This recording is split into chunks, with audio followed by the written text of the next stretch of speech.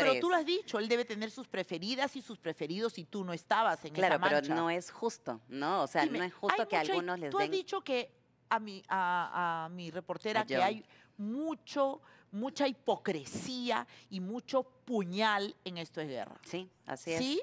Efectivamente, así es. O sea, Y- cada quien cuida su, su aura personal, ¿no? Y si alguien te, te, te cae, te cae bien, o sea, te cae mal y tú quieres estar, pasar piola, por atrás estás... ¿Y cómo se han mantenido juntos tantos años ahí? La Baigorria, este, ¿quién más están? Melisa Loza.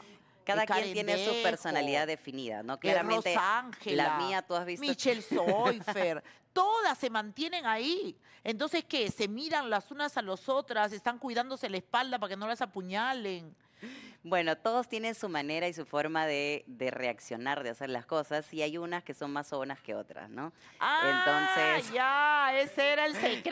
Ese era el secreto, Ay, claro. y es algo en lo que yo no encajé, pues entonces Ah, obviamente por eso ya de eso ladito es, nomás. Pues es que hay jefes que les encanta que los sobonen, que estén ahí ¿Por qué crees que están los nuevos chicos que no le generan pero ni un sol de rating ahorita? No, de verdad, hay un montón de desconocidos, ¿no? Magali, cuando yo entré, me llevaron de acá, es más, regresé a mi casa el día de hoy. Ya, pero, pero Cuando- ¿por qué están esos chicos?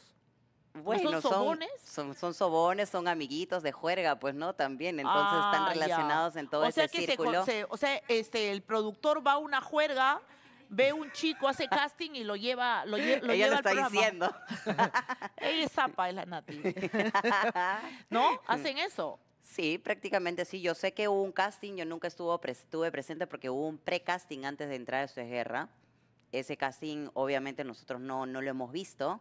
Sí se dicen muchas cosas, o sea, en el programa muchos de mis compañeros hablan muchas cosas detrás de cámaras que no se lo pueden decir de frente o no tienen el valor de decírselo.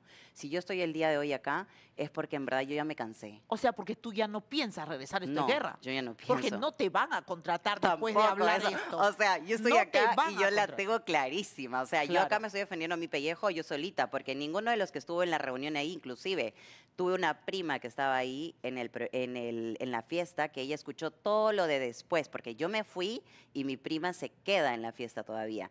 E inclusive hay muchos personajes que de repente me saludaron hipócritamente y, y escucharon todo después, pero se van a quedar calladitos.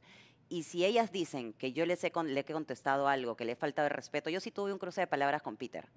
Cuando, se real- cuando empieza la pelea con Francesco, yo veo que él pasa y minimiza con palabras, eh, con Pero- una palabra mal- malcriada, ¿no? Dice, ¿quién ve ese programa de verdad? Ya. ¿No? Aquí en el, o sea, ¿quién ve ese programa de mierda? Entonces yo me molesto, me incomodo.